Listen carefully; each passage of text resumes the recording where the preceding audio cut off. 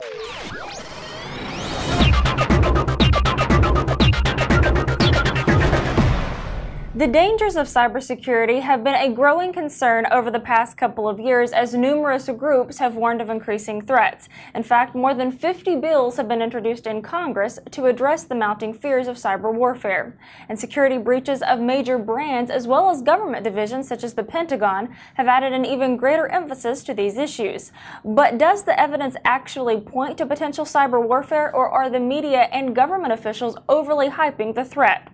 Well, to help us answer this question, we're going to bring in Jerry Brito, the director of the Technology Policy Program at George Mason University, who has studied cybersecurity extensively. Thanks for joining us today, Jerry. Thanks for having me.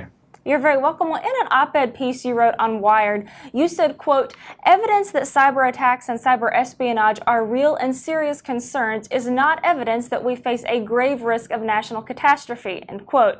So does this mean that, that you think the cybersecurity threat is being overblown? I do. Um, it's a very serious threat, and we should take it seriously.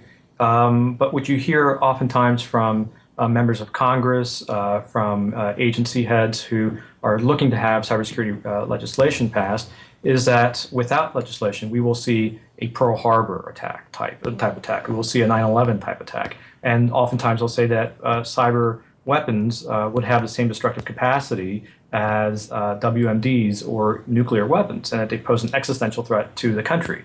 And that aspect of it is is definitely overblown in my view. So, what examples can you share uh, th- throughout history that you believe help to prove your perspective on this? Well, so um, you, you, have to look at what they say, the rhetoric that they use, and the evidence that they cite. So, like I said, the, the, the threat that they cite is that uh, a cyber attack could cause a critical infrastructure to fail, causing blackouts, right? Uh, or, for example, might cause trains to derail, planes to fall out of the sky. These are all examples that are given by these folks. But when you ask them, what's the evidence for this? What they point to are, is number one, they'll point to, to, to distributed denial of service attacks. And this is um, when a uh, web server, or not necessarily a web server, but a server of any kind, is overwhelmed with requests for information. Uh, oftentimes it is a, a, website, and you bring the website down. Uh, this happened to the Senate recently, it's happened to the CIA, mm-hmm. and it's happened to lots of government agencies and lots of uh, uh, corporations, uh, oftentimes done by state actors, but also by groups like Anonymous. Um, this is a very real threat. It's bad, but when you look at what sort of damage it causes, it is um, more than anything else, it's an inconvenience. Uh, the website might be down for a couple of hours, maybe a day, but then it comes back up. That's a, it's a far cry from weapons of mass destruction type activity. The next thing that they will point to uh, is that they will point to cyber espionage. Uh, again, this is a very real threat. Um, it, exists right now. It's happening right now, and it's something that we should uh, definitely address. Um, but again, the rhetoric does not match the evidence. Uh, cyber espionage does not lead to casualties, much less mass casualties. Um, and finally, uh, when you look at the real cyber weapons that we have seen that do cause, uh, do have a kinetic effect, that do cause physical damage, um, there have been very few of these. And uh, uh, there are sort of circumstances, um, for example, take Stuxnet. Um, with Stuxnet, what you see is a weapon that didn't want to be found, and there were no casualties uh, involved. Um, you look at something like the Aurora uh, project uh, that Idaho National Labs did. This was done on range, and it was uh, done by folks who knew how to get into uh, the system. Um, you had the Maroochy Shire incident uh, in Queensland, Australia, where you had a disgruntled employee uh, open up the valves to sewage and spill sewage out into uh, uh, a, a, golf course in other parts of town. And the issue there is that the, the person who did this designed the system.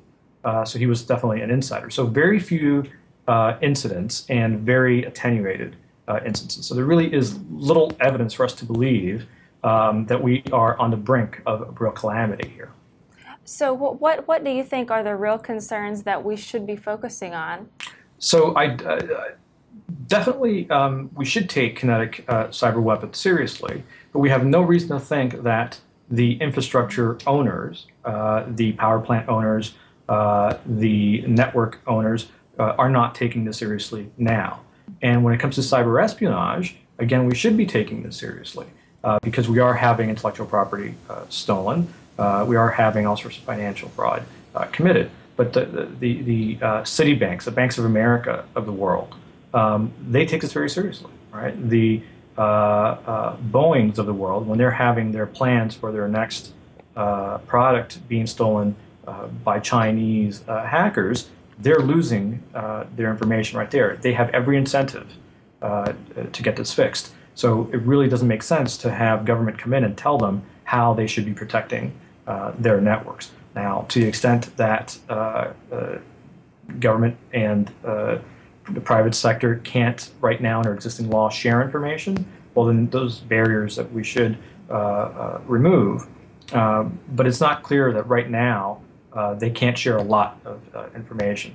Uh, but yes, to the extent that you can remove those barriers and you can do it while respecting consumer privacy, we, we should be doing that. Well, Senator Joe Lieberman um, is one of the ones that has equated the, the current threats to September 10th, 2001, or the eve of the tragic September 11th attacks. But when this sinks in with the American people, it, it will likely produce a, a panic reaction. So, how would you refute this panic? Well, it's interesting. What you often hear um, from Senator Lieberman and other uh, uh, proponents of legislation is that if we don't do this, uh, we will have a cyber event that will cause chaos, right? So take, for example, a blackout. Um, a, recently, the White House put on a uh, simulation for senators uh, where they, they simulated what a cyber attack would look like that would cause a blackout in New York City in the summer uh, during a hot uh, uh, summer day. And I, you know, this is a classified briefing. Um, so we don't know exactly what uh, is the content of that briefing, but you can imagine that it may have included um, the sort of mass casualties that Senator Lieberman and others say would result from such a thing. Um, I hope that's not the case, because if you look at the evidence of history, we can look at actual blackouts that have happened in New York City. Starting in the 1930s, uh, there were a series of blackouts in the 1970s, and most recently in 2003, we had the uh, Northeast uh, blackout uh, that, that happened in New York City and around the Northeast all the way up into Canada that affected millions of people for a few days. And what we find is that there was no panic, um, there was no looting, uh, there were few of any casualties, and uh, folks re- reacted very calmly uh, uh to the blackout. Um, they just started going home for the day. Um, uh, where there was congestion, so sometimes you would see uh, the traffic lights were out, and so there were traffic jams. Citizens just jumped in and started directing traffic voluntarily. Um, so people uh, uh, have a, a, really strong um, sense of resiliency. Mm-hmm. And so something like a blackout, um, while uh, something that is bad and something we should definitely try to avoid, it is not the end of the world scenario that a lot of folks uh, uh, would, would, portray it to be. Uh, critical uh, uh, life-sustaining infrastructure like hospitals, they have contingency plans for blackouts, whether it's caused by a cyber event or not. If a blackout is to cause um, mass chaos and panic, um, we're in big trouble not just from a cyber event, but just if a tree branch falls and causes a blackout like happened in 2003. Luckily, that's not the case. Uh, we're, we're, very resilient and uh, we have the, uh, the capacity to uh, bounce back from it and uh, bounce back from it quickly. Hmm. Well, also, Shawn Henry, the executive assistant director of the FBI, recently indicated that the U.S. was losing to hackers. So, do you agree with, with him, and, and how serious of a concern is this? Well, it's it's hard to know exactly um, to measure whether you're you're winning or losing. I guess to the extent that any there are any cyber breaches and you're losing any data, you are losing. Mm-hmm. Um, but of course, we're never going to have 100% security. Uh, the question is, do we have enough security? And, and, that's very hard to measure. But it does seem to me that uh, the companies that are affected uh, have every incentive to do uh, their best and invest as much as they need to uh, uh, to stop as many breaches as makes sense to stop. Um, and it may be the case that right now we're in a period where uh, uh, management of these companies is starting to realize the extent of this threat, and they're beginning to realize that they need to shift resources uh, to security. Uh, but there's no reason to believe that they won't.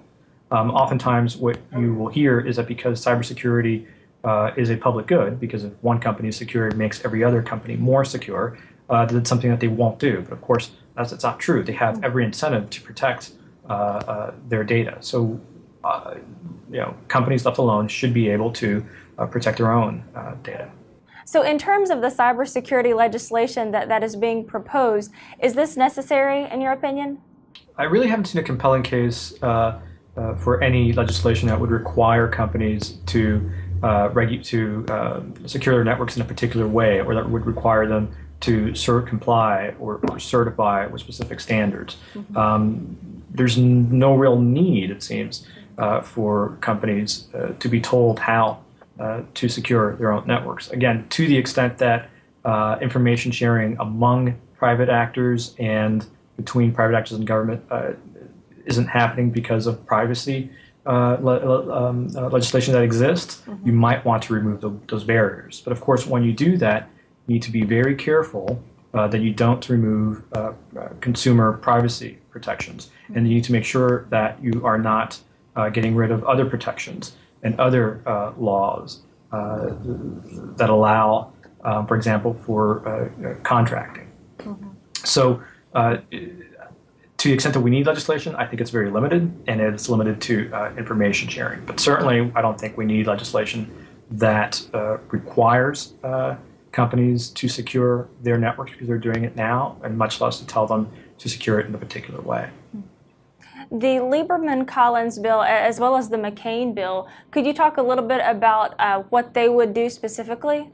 Well, the Lieberman Collins bill would uh, require sector by sector um, uh, sort of analysis of the threats faced by each sector, and then it would require uh, uh, basically companies to, to choose a security standard and certify that they are uh, living up to that standard. Uh, the McCain bill does not take a regulatory approach. There's no real regulation. What it what it does is that it allows for uh, uh, information sharing at uh, information sharing centers, cyber cybersecurity centers, um, between um, the, between private entities and between the, the private entities and the government. Um, so those are the, the two approaches. Mm-hmm. Okay. Well, just this week, news is out that the U.S. Cyber Command is contemplating new rules for cybersecurity. So, what are your thoughts on this and the direction that it's headed?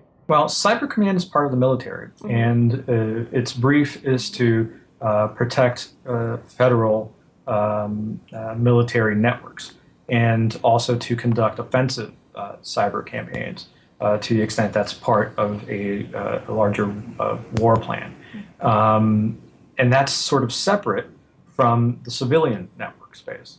And that is something that uh, DHS, Department of Homeland Security, has had uh, the lead in. Um, and there is a memo of understanding between the Pentagon and DHS where they uh, share uh, information. And I think it's important to make sure that we keep uh, the military and uh, civilian networks separate. Hmm. Um, we know that the National Security Agency, which is part of the Defense Department, um, would like to be more involved in the civilian uh, network space and be uh, more involved in monitoring cyber attacks and trying to prevent them. But that is inappropriate.